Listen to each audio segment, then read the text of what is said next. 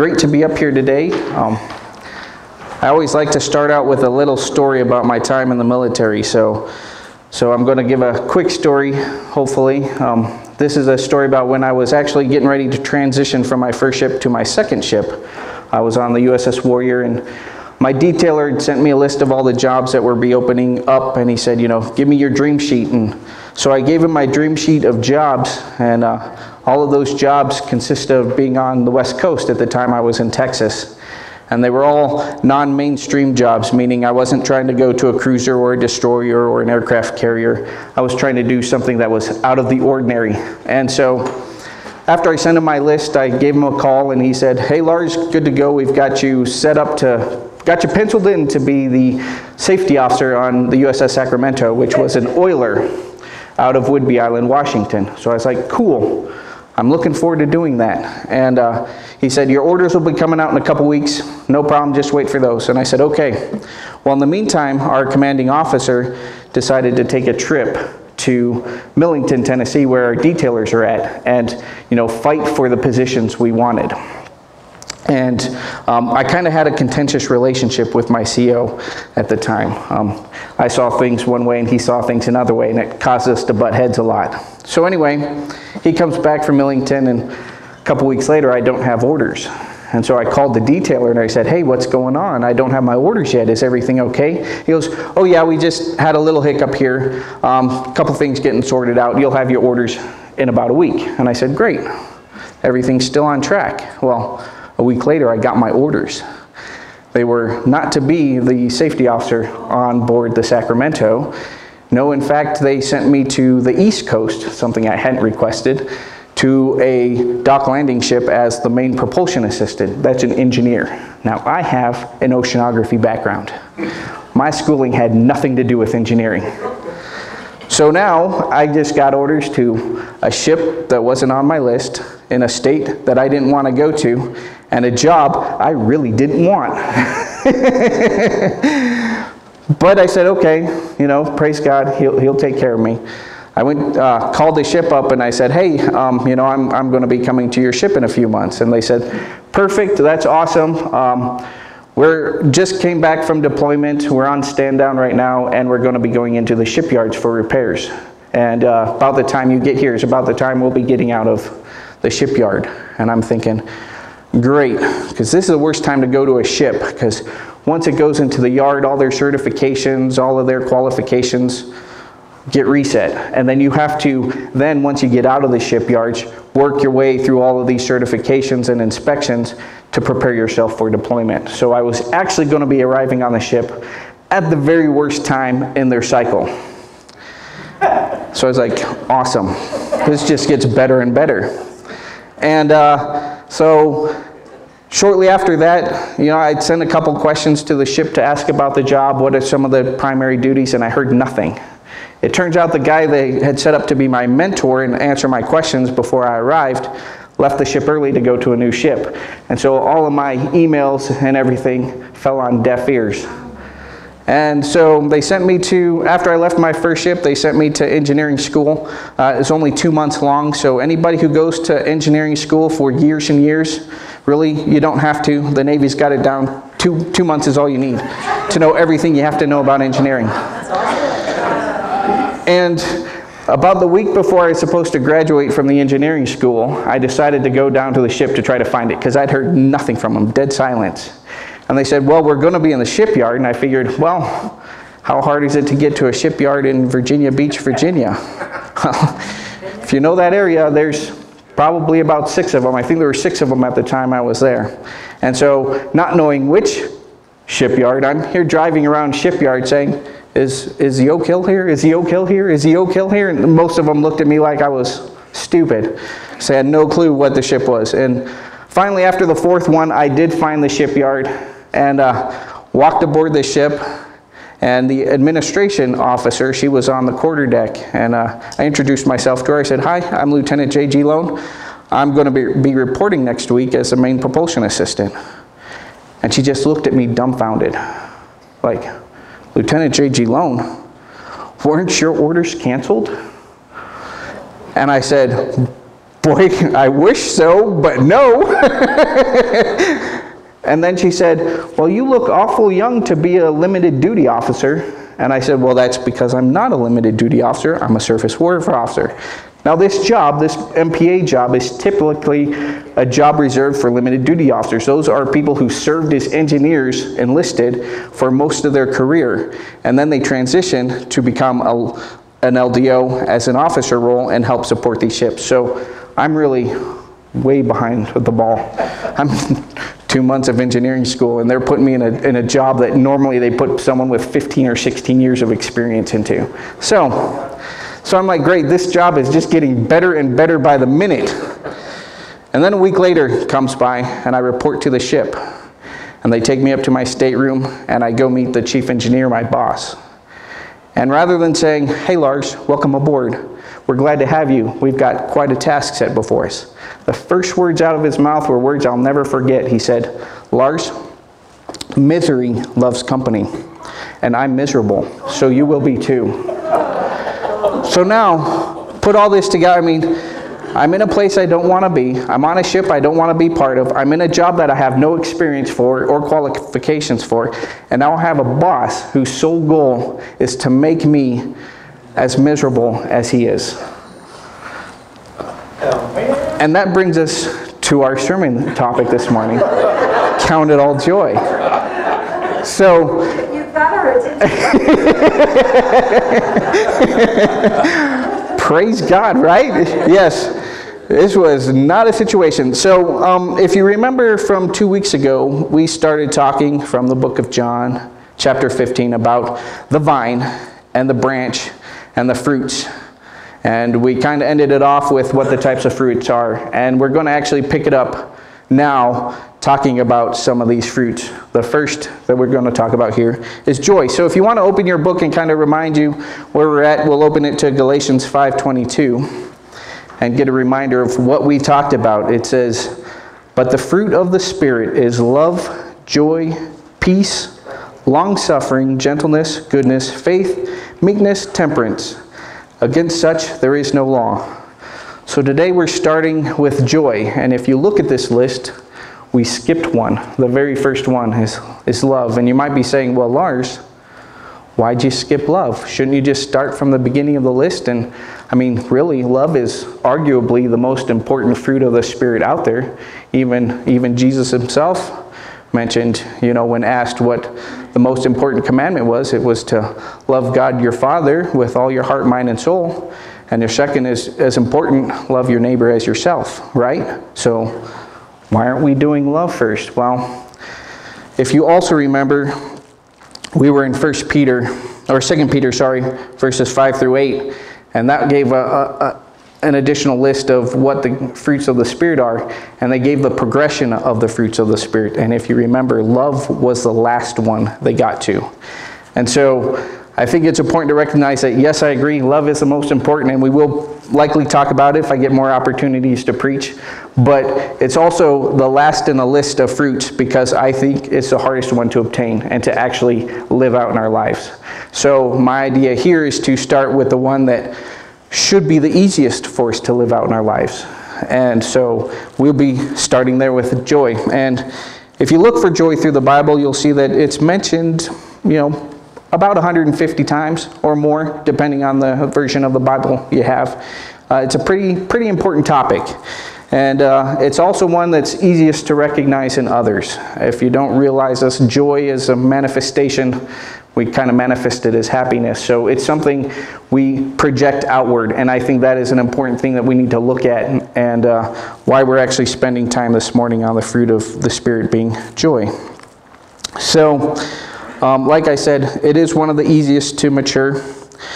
And if you remember from John 15, he said, These things I have spoken to you, that my joy remain in you, and that your joy may be full. You know, he didn't say that my love will be in you and that your love will be full. It's your, the joy that he's talking about. We're spending time learning the word so that our joy will be full and so that others will see that joy in us. And how do we do that? We get it through spending time in prayer, studying the Word of God. So if you have your Bible with you, now you can open up to Psalms and we'll kind of see a little bit more of that. Psalms 1. And it says in Psalms 1 Blessed is the man who walks not in the counsel of the ungodly, nor stands in the path of sinners, nor sits in the seat of the scornful, but his delight is in the law of the Lord.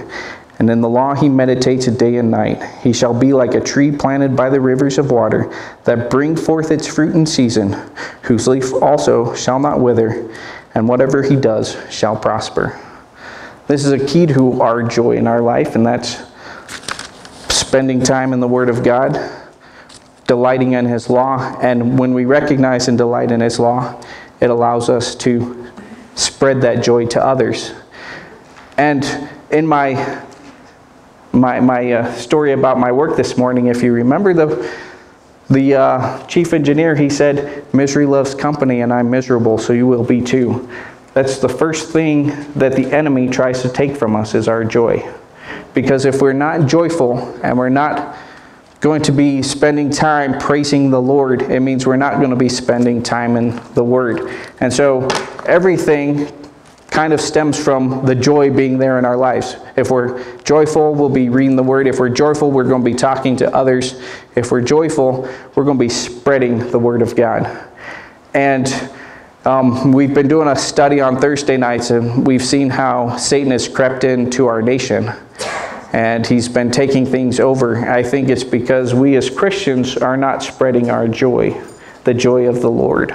So this is a very important, very important for us to spend time understanding and learning what what is joy. And more so than just being a great thing, it's also a commandment from God. He's told us, You shall be joyful. So if you jump into Deuteronomy and I say, study this some more, because this is actually a great time. This is when the, the Jews were fled from captivity of Egypt and are wandering in the wilderness. And the Lord said to them, And you shall rejoice in all the good that the Lord your God has given to you and to your house, you and the Levite and the sojourner who is among you. So, Lord is telling us, you, you be joyful. It, it, it's something he wants us. He wants us to be joyful. He's given us joy for this reason. This fruit is there to abound for this reason. And it's really interesting if you continue to read through Deuteronomy, just one chapter over, you know, in, in their struggles of being in the wilderness without their clothes deteriorating and food provided for them every day and, and water and, you know, a pillar of, uh, of fire to follow during the night and a column of smoke during the day that you know the lord was in their presence this whole time yet they found something to crab about. And god goes on to say because you did not serve the lord your god with joy and gladness of heart. For the abundance of everything therefore you shall serve your enemies whom the lord will send against you. I mean how quickly do we forget our joy?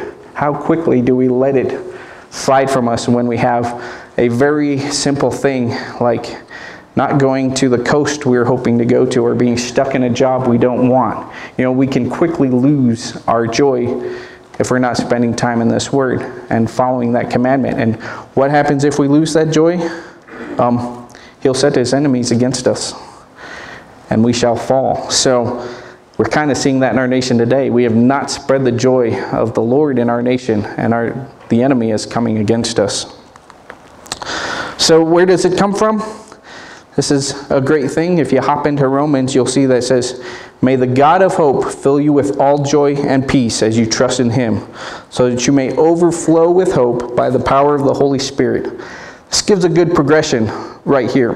You understand that we're given love and we're given hope. From, from joy, sorry, I said love, didn't I? I'm sorry. From joy, we're given hope.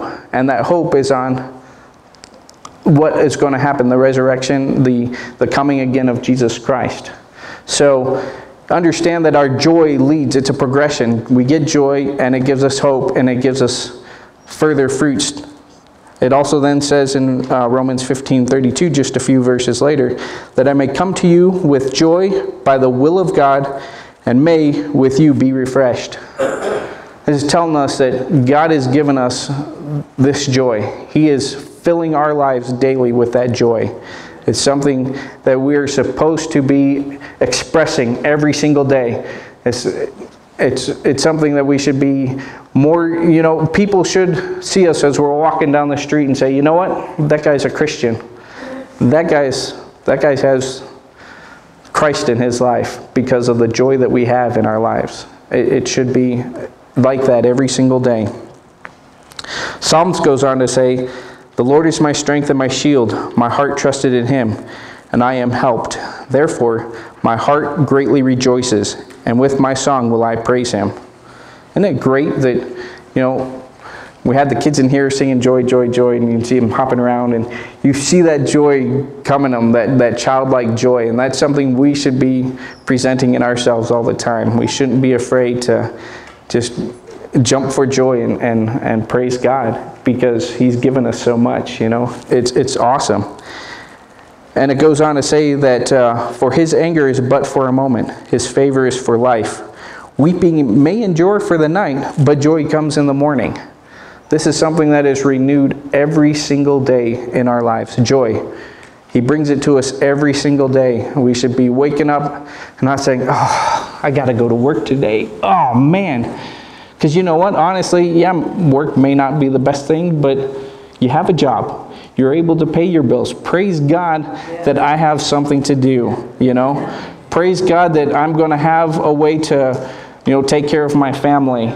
Um, praise God, I have a way to help those in need in other countries. You know, I can support missions. We should be praising God every single day and not, oh man, I've got to go deal with that person again today in the office. Ugh, it's going to be terrible. No, we should be saying, you know what, we got an opportunity to witness We've got an opportunity to show the love of God to those around us that may not know God and who desperately need to know God.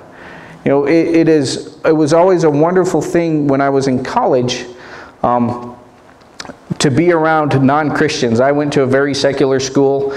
I studied, of course, like I said, oceanography, uh, and uh, everyone around us believed in evolution. It's evolution, evolution. There's no such thing as God. There's no belief in God.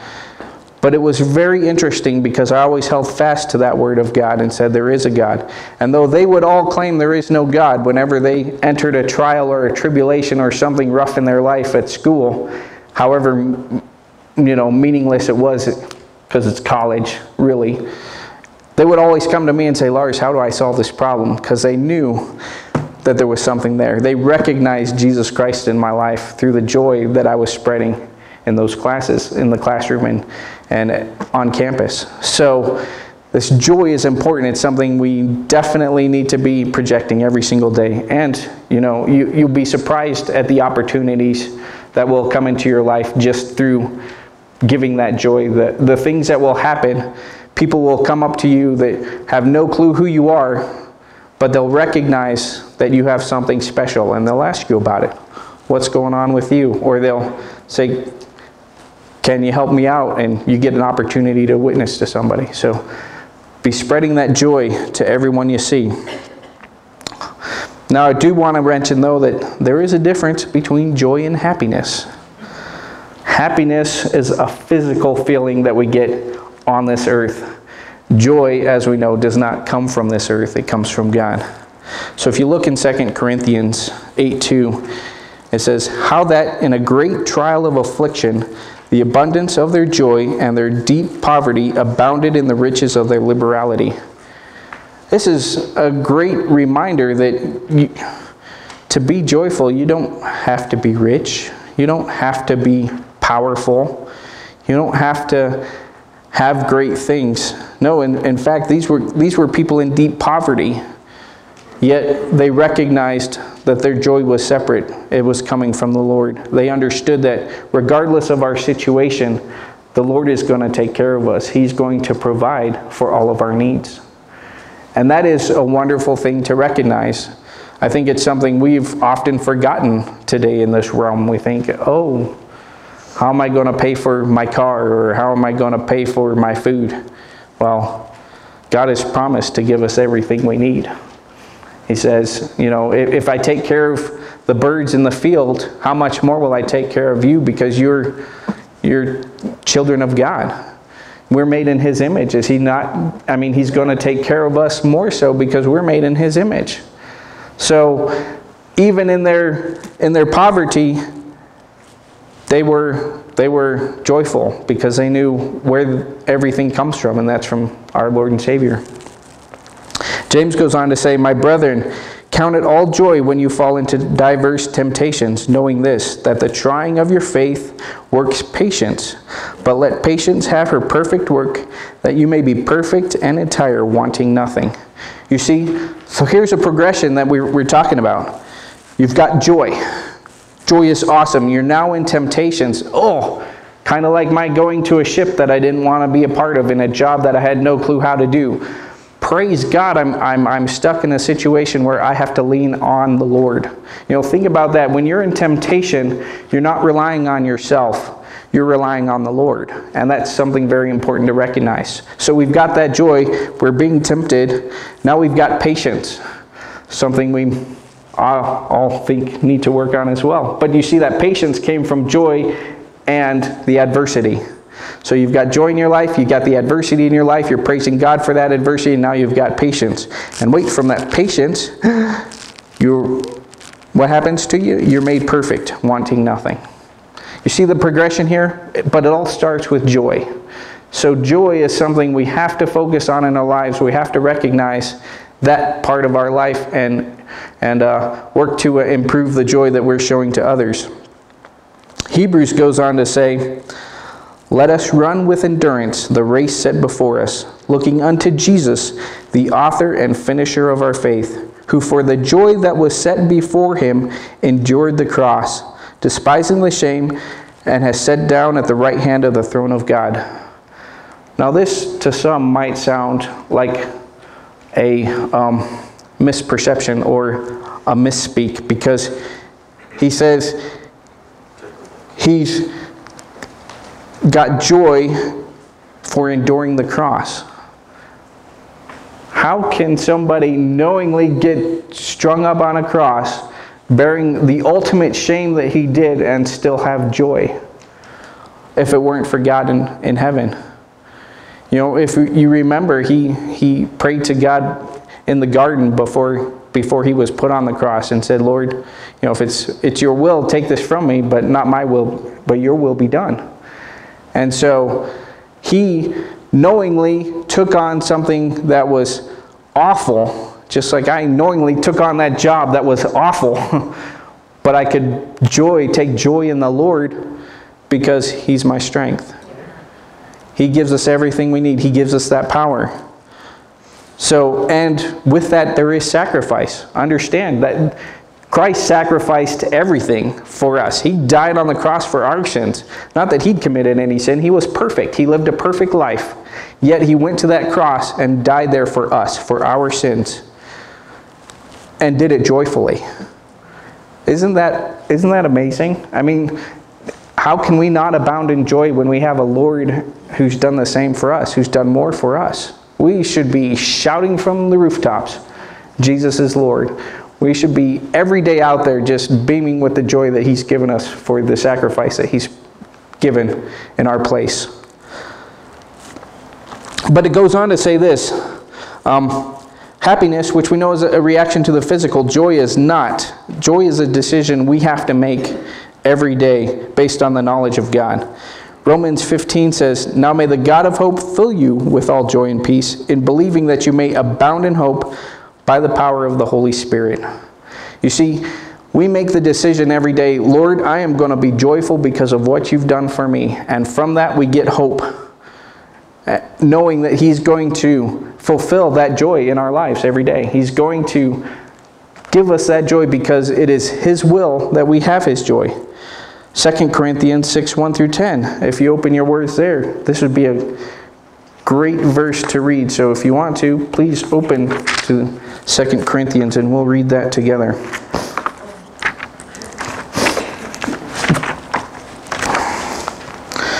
All right, 2 Corinthians, it says this.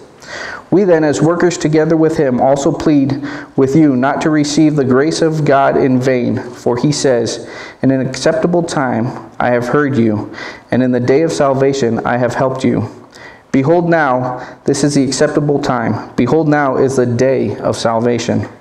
We give no offense in anything that our ministry may be may not be blamed, but in all things we commend ourselves as ministers of God, in much patience, in tribulation, in needs, in distress, in stripes, in imprisonment, in tumults, in labor, in sleeplessness, in fasting, by purity, by knowledge, by long suffering, by kindness, by the Holy Spirit, by sincere love by the word of truth, by the power of God, by the armor of righteousness on the right hand and on the left, by honor and dishonor, by evil report and good report, as deceivers and yet true, as unknown and yet well known, as dying and behold we live, as chastened and yet not killed, as sorrowful yet always rejoicing, as poor yet making many rich, as having nothing and yet possessing all things.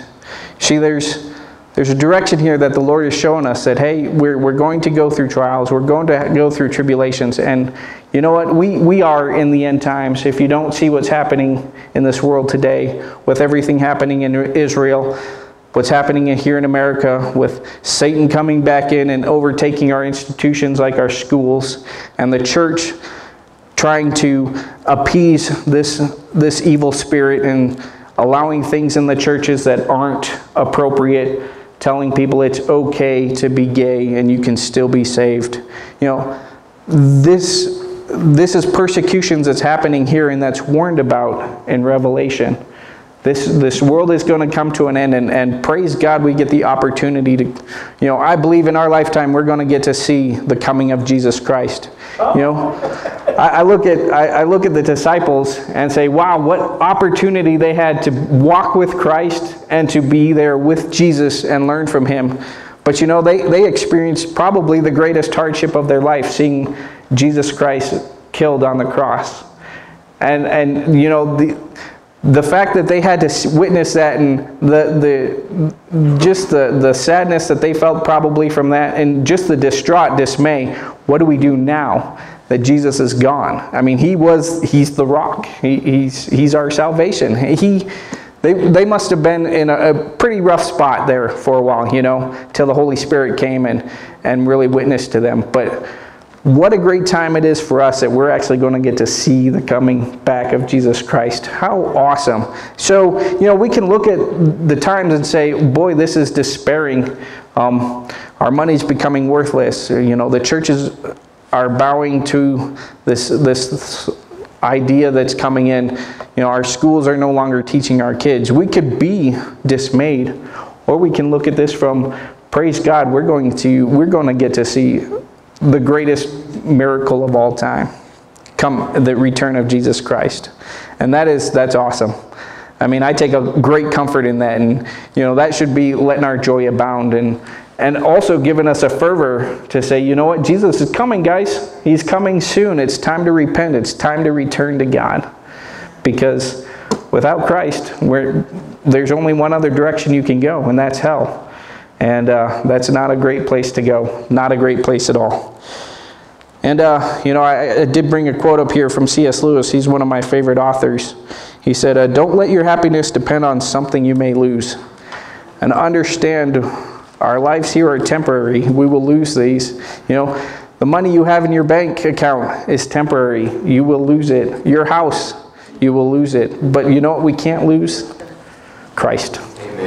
That's where our joy should come from as Christ. And we should be more than excited, more than ecstatic to tell others about the great gift that we have and that we will never lose. You know, it's fun too. Um, a, a couple weeks ago, we were having service here, or we were praying here, and, and I'm going to pick on one of my brothers here in the sanctuary, Chet. And uh, he got to talking, and, and praise God, Chet is here with us. He is an awesome brother. But and if you don't get an opportunity to talk to him, you should because he gets super animated when we start talking about the Lord and the things happening. And it, you know, it was great because you just see everybody talking and everything's monotone and we're just not getting super excited. And then Chet starts talking, and everybody just starts piping up. And, you know, the, the whole dynamic in the room changed simply because he started talking and expressing that joy of the Lord. And it's, it's really awesome to see. So I appreciate it, Chet. Thank you for, for that. And, You know, so he's manifesting, you can see that manifestation of the joy of Jesus in his life, and it actually excites the people around you.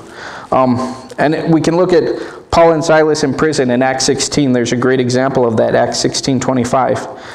And if you read through this section of Acts, you'll know this is when Paul and Silas were walking and preaching, and uh, a girl with an evil spirit in her came up behind them and started basically prophesying that hey this is this is a son of god right here he's he's he's a holy man he's bringing the word of jesus and she just kept saying it kept saying it kept saying it and finally paul turned around and said evil spirit come out of this child and she of course gave up that evil spirit and she had masters who were really really upset at that because she had made them a lot of money and now their cash cow disappeared.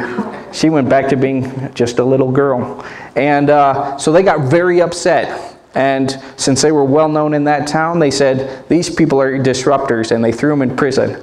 Did Paul and Silas do anything wrong? No. No, they just cast a demon out of a girl. Praise God, you know. It's one of the commandments, you know, the, they were given, you know, cast out demons in my name. And so they were just doing the will of God and they got thrown in prison for it. And what happened in, in prison? It says, But at midnight, Paul and Silas were praying and singing hymns to God, and the prisoners were listening to them.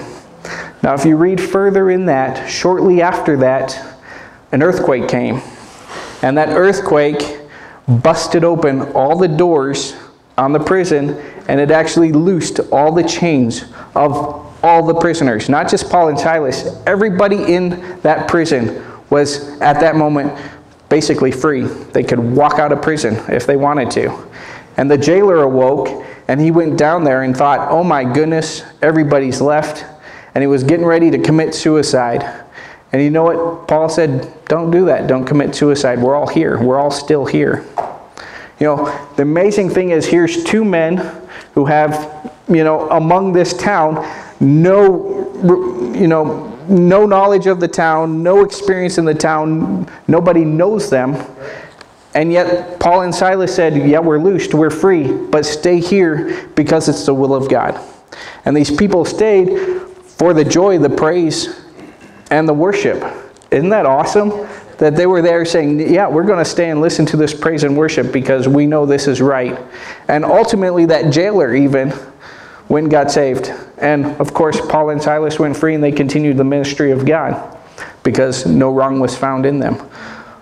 So it's amazing here that the joy, the joy that was given, controlled a whole jail full of people, of murderers, of robbers.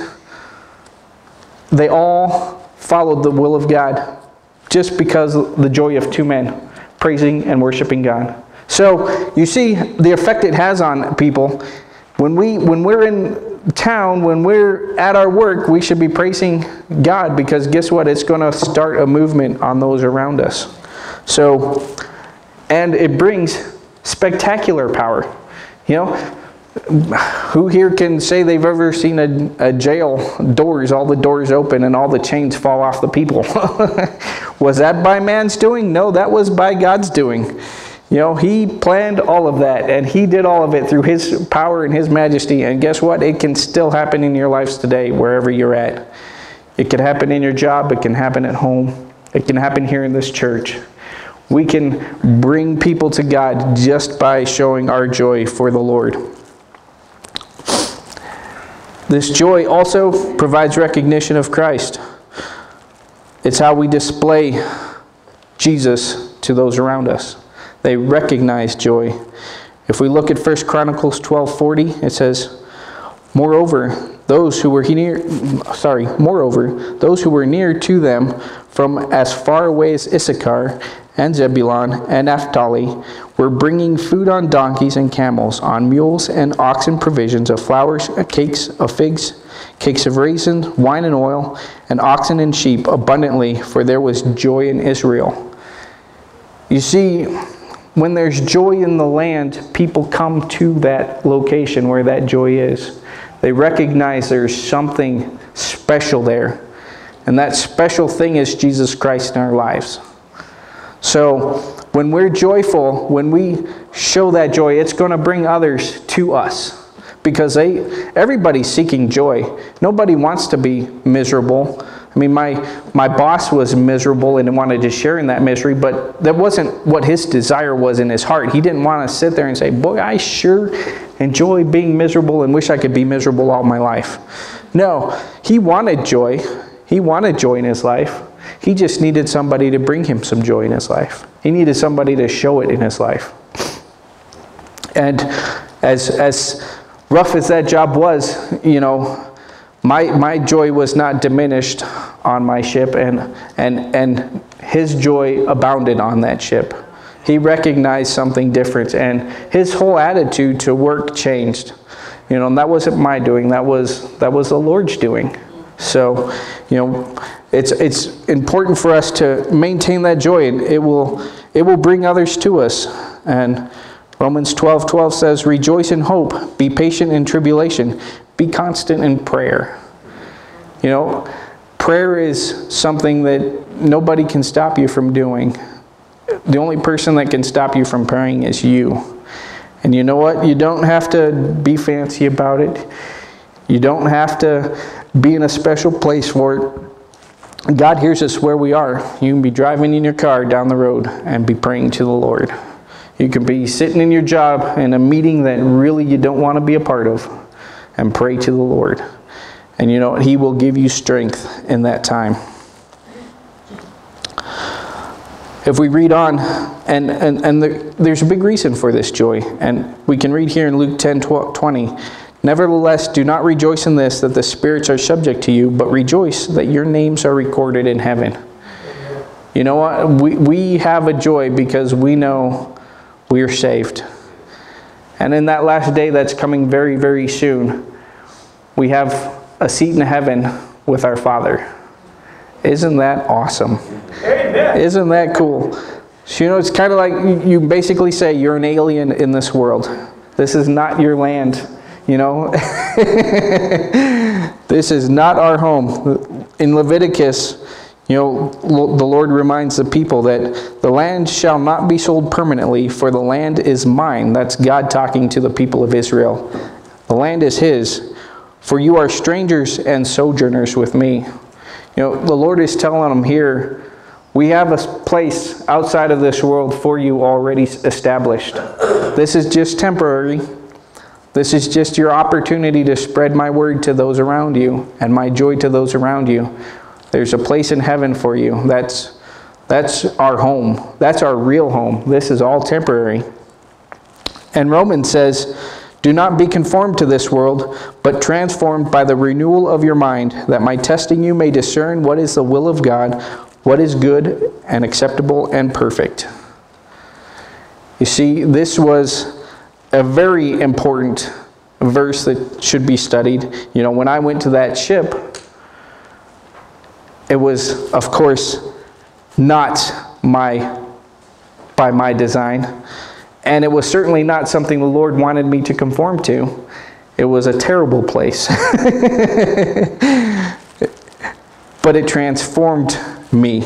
And it transformed my mind to a, a, focus that is on Jesus Christ and a recognition that the joy is coming from Him. And that through Him, my strength was received. And you know, I. I went on that tour and did a great job. Um, not having the experience or anything else, not having the knowledge, it, it was a very successful tour in that the ship met all of its commitments uh, on time. There was no setbacks. Um, and I, well, I will say, fortunately, I left before deployment, or unfortunately, either way. Um, I left that ship just before they deployed. But they were the most prepared ship in our fleet to go on deployment because of everything that happened. And all you can say is that's, that's the Lord doing that. That's, that's the, the hand of God working on that ship at that time. And it, it, w- it was, uh, you know, in, in that hindsight, looking back at that job, I say, boy, I can really see how God worked and how He moved, and it's an awesome thing to see. And that's why we need to have that joy because we may not be feeling great. We might feel like we're under a lot of pressure while we're there. But the joy that the Lord gives you every day will make what your steps, well, He will make your steps successful. Okay? Never forget that. Never forget that. So here's some good questions. Have, have you lost your joy, guys? Have you, like, uh, boy, this, just life's not going right for me. I don't feel happy. Well, I'd say read this verse often and, uh, you know, pray this verse. Psalm 51:12 says, "Restore to me the joy of your salvation and hold, uphold me with a willing spirit." You know, the Lord is the one who gives us our joy. Pray if, if you're not feeling like you have joy in your life right now. Just pray this, pray this verse over and over and over. You know, He will return His joy to you. He will remind you of the salvation you have in heaven and the home you have in heaven. And He will give you a spirit that's willing to do whatever's required of you. You know, His, his joy or our joy, sorry, is tied to His glory, and that's the reason He wants to give it to us. You know, God is seen through our joy that people see and recognize something in us that is outside of us. So He wants to give us joy so that we can spread that to others. So His glory is shown in our joy. So He wants to give it to you. So when you pray this, you're going to receive it because it's His desire to show His glory because he's God and he deserves the glory. So pray this if you're if your your joy is lacking right now. And then uh, Isaiah 29 19, it says, The humble also shall increase their joy in the Lord, and the poor among men shall rejoice in the Holy One of Israel. You see, He's a God that cares. He's also God that recognizes when we are feeling down, that He will provide it to us. And when He gives us that, what else is there to do but rejoice? You know, take joy in the Lord. Praise God, we're saved. Praise God, we're going to heaven. I may not have everything I want here on earth, but you know what? What I don't have here is stored up in heaven. It's and you know the word is very clear that it says, Don't store up here on earth where moth, moth and rust destroy, but store in heaven where it's permanent. You know, so so don't don't be sad, don't be upset that everything isn't as you want it here on earth. Our joy, our our our goal is to be in heaven, and that's where we'll get everything we need. Jeremiah goes on to say he was in a time of tribulation as well. He says, your words were found, and I ate them. And your word was to me the joy and rejoicing of my heart, for I'm called by your name, O Lord of hosts. Isn't that, isn't that awesome? I mean, that phrase right there, that I am called by your name. We're called by the name of Jesus Christ, the Lord of hosts. Isn't that awesome that he, we're recognized that way in the eyes of God the Father? That is so awesome to me that uh, he, he cares that much about us, that uh, we're called by his name. Praise God. So, as he kind of said here, eat those words, spend time in the Word, read it, know it, learn it, take a verse each day and memorize it. You know, it's, it's, it's what will actually remind us every day of where our joy stands, is in this Word. And you know, wake up, just as it said, since joy's renewed every morning, wake up from bed and, and say a quick prayer to God. Thank you so much for keeping me safe through the night, for protecting my family when I was not on watch. Thank you for providing the food that I'm going to eat this morning. You know, we, we, we forget quickly that God has given us everything we need every morning. It's, it's there for us. We've gone to bed, we've not worried about anything, and boom, we wake up in the morning, and guess what? Everything's there for us. I mean, you can say, Thank the Lord I didn't die in my sleep, or something like that, you know? There's so many things that He provides for us every morning Then take that opportunity just to say, Thank you, Lord. Thank you that everything is as it was when I went to bed last night. You know, He's, he's there for us, He's comforting us. So, with that, I do have a take home task for all of you today. Um, need you to uh, go home and, and think about this. What is limiting your joy in your life right now? Because I know we all have things in our life that we let weigh on us. Think about those things that are, are, are weighing down your joy and give them to the Lord. Give them to God when you go home and say, Boy, this is, this is really something that is, is beating me down right now. Give it over to the Lord. Pray to Him and say, Lord, this is, this is on my life. I need it. I need it taken away. I need relief from it. And you know what? He's going to provide you that relief. He wants to put that joy in your life. You know, second, what have you put ahead of reading your Bible? Think about that. Did you go home and sit down and say, Boy, there's a football game on today. I really want to watch that football game, but I haven't read the Bible today. Maybe before you turn that football game on, you should take a few minutes to read that read the word of God. Study and meditate on the word of God before you watch that football game. Or, you know, it could be something else. Oh, I'm going to can some food today. I don't know anybody here who cans. Mom. but you know, before before you start that, maybe maybe take 10 minutes to read the Word of God and study and meditate on His Word. And, and guess what? It's going to bring joy, but it's going to bring strength too. It's going to give you a renewing that you need to, to continue to do the tasks that you need to do every day.